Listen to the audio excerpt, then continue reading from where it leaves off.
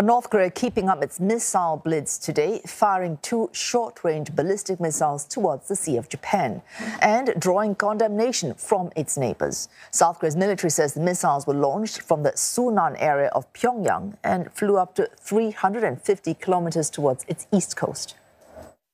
北朝鮮による急速に挑発をエスカレートさせる一連の行動は我が国地域及び国際社会の平和と安全を脅かすもので 断じて容認することができません関連する安保理決議に違反するものであり我が国として北朝鮮に対し、えー、北京の大使館ルートを通じて厳重に抗議し強く非難をいたしました North Korea has launched an unprecedented number of missiles this year, including its most advanced intercontinental missile that's able to hit the U.S. mainland. In January, North Korea said it tested hypersonic missiles. In March, Pyongyang said it successfully tested its largest ever intercontinental ballistic missile.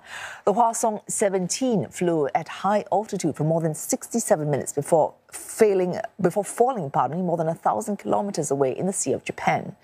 In October, North Korea triggered panic in northern Japan when it fired an intermediate range missile that flew over the country. It cruised some 4,600 kilometers into the Pacific Ocean. Now, that's a distance that puts the U.S. territory of Guam within reach. South Korea's military has urged Pyongyang to stop these provocations that are destabilizing the region. Japan also condemned today's launch as absolutely unacceptable.